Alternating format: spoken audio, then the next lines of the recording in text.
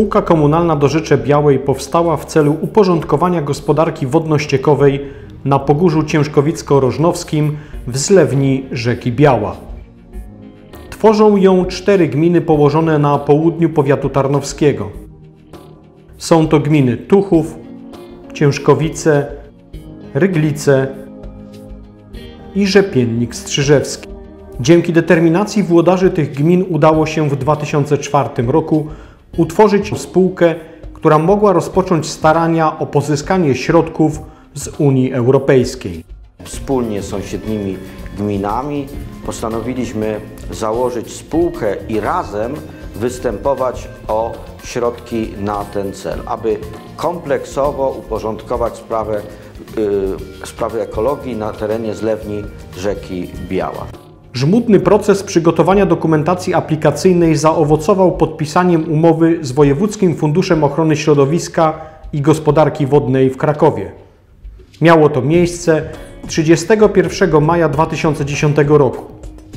Jednak skutki katastrofy powodzi w maju i czerwcu 2010 roku znacznie skomplikowały przygotowania do realizacji projektu, gdyż największa od dziesięcioleci powódź nie ominęła obiektów i majątku spółki komunalnej do Rzeczy Białej, niszcząc prawie całkowicie oczyszczalnię ścieków w Tuchowie. Nie ostudziło to jednak zapału do rozbudowy. Koniecznym była jednak modyfikacja wcześniejszych założeń. Krótki czas na realizację projektu był sporym wyzwaniem dla nowego prezesa spółki Sławomira Jędrusiaka, który został powołany w celu koordynowania i prowadzenia tego bardzo trudnego projektu.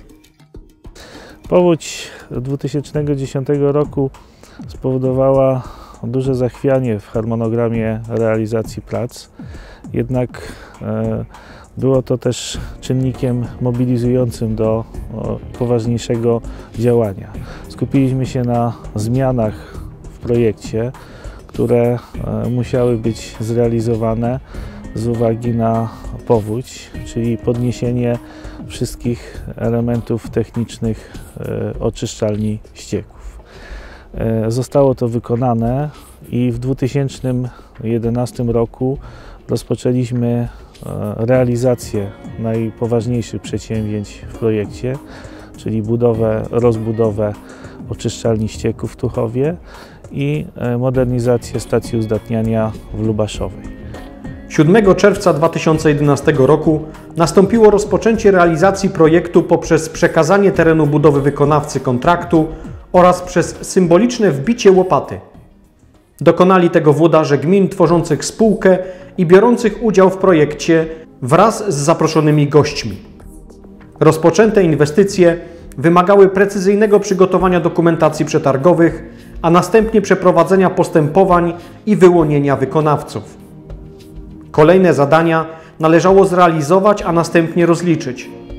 Całością tych zagadnień zajęła się specjalnie do tego celu powołana jednostka realizująca projekt zarządzana przez Agnieszkę Gaj.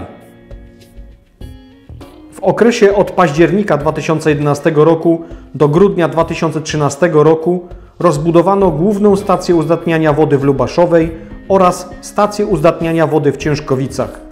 Zmodernizowano trzy oczyszczalnie ścieków w Tuchowie, Ciężkowicach i Bogoniowicach, zabezpieczając je przed zalewaniem wodami powodziowymi. Do końca 2013 roku wybudowano ponad 120 km sieci kanalizacyjnej i 75 km sieci wodociągowej.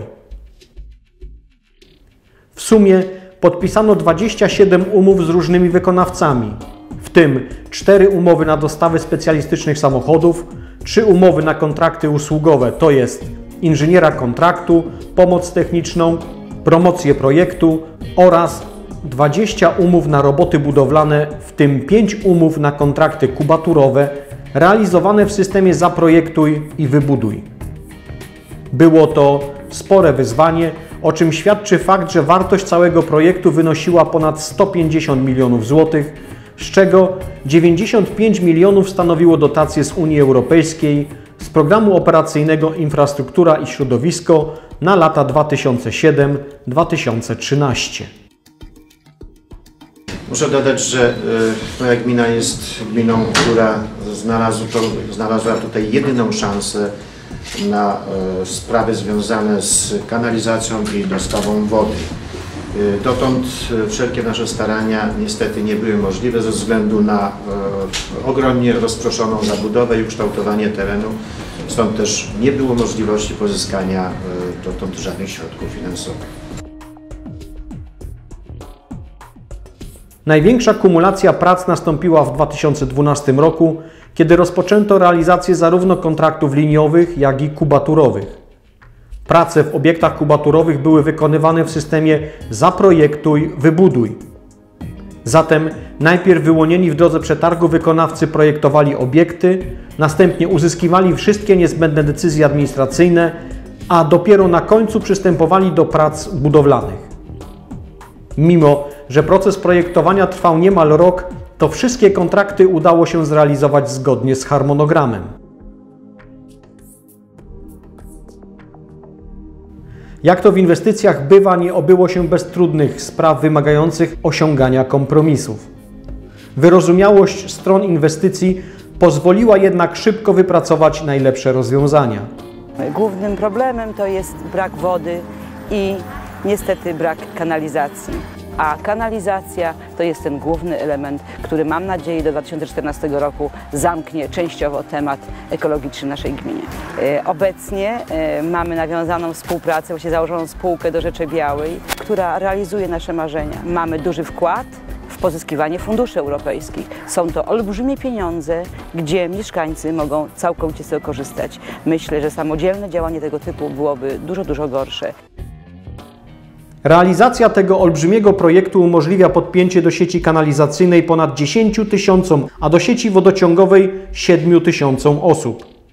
Dziś można powiedzieć, że spółka komunalna do Rzeczy Białej wraz z jednostką realizującą projekt wywiązała się ze swojego zadania wzorowo. Co więcej, 20 listopada 2013 roku spółka komunalna do Rzeczy Białej podpisała aneks do umowy na realizację drugiego etapu rozbudowy systemu wodno-kanalizacyjnego. Dzięki niemu będzie można wybudować kolejnych 60 km kanalizacji i 40 km wodociągu. Aneks został podpisany z Wojewódzkim Funduszem Ochrony Środowiska i Gospodarki Wodnej w Krakowie, instytucją wdrażającą. Program Operacyjny Infrastruktura i Środowisko jest dobrym programem, bo można powiedzieć, można uzyskać duże finansowanie. Niemniej jednak rozliczanie tego, tego y, programu nie jest łatwe.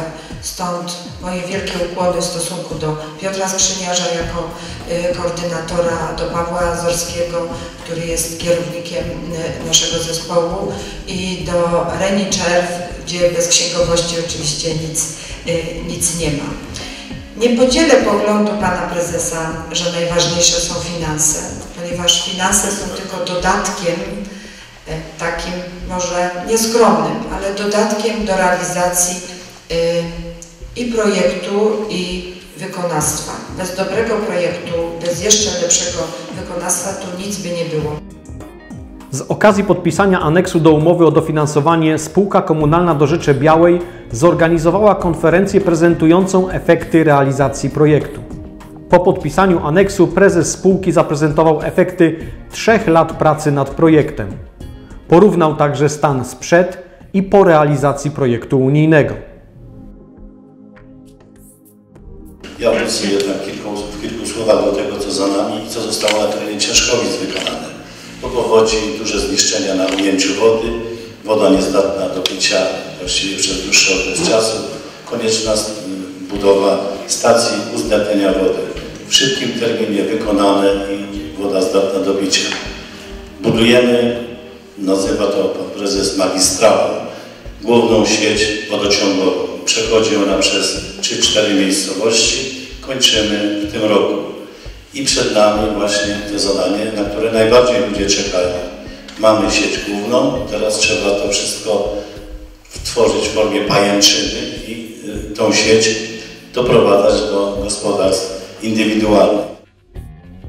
Ważnym wydarzeniem tego dnia była także wizja projektu w terenie.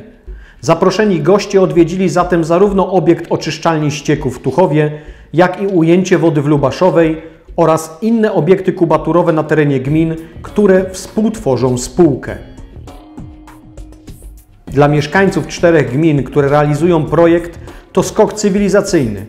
Ścieki z tych gmin będą płynęły do ekologicznych oczyszczalni, a woda płynąca z kranów, dzięki uzdatnianiu w nowoczesnej technologii, będzie smaczna w spożyciu. Tylko zaangażowanie wszystkich stron biorących udział w inwestycji pozwoliło na zrealizowanie tak ogromnego zakresu prac w tak krótkim czasie. 2012 i 2013 to najbardziej intensywne lata w robotach budowlanych. I końcówka 2013 to zakończenie robót, tak że możemy ze spokojem powiedzieć, to co zostało zamierzone, zostało zrealizowane do końca 2013 roku. Prezes Sławomir Jędrusiak nie zamierza ograniczać się do projektów realizowanych tylko z funduszy europejskich. Już teraz, wychodząc naprzeciw problemom mieszkańców dotyczących zaopatrzenia w wodę, zostały zakupione wodomaty, dzięki którym można w okresie suszy zakupić wodę.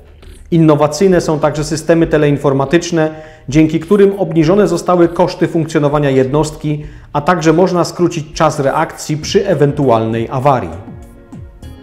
Projekt zrealizowany przez spółkę komunalną Dorzecze Białej był niezwykle istotny dla mieszkańców Dorzecza rzeki Biała, nie tylko ze względu na znaczną poprawę lokalnego środowiska i polepszenie jakości życia, ale także poprzez wzrost atrakcyjności gospodarczej i turystycznej tego malowniczo położonego regionu.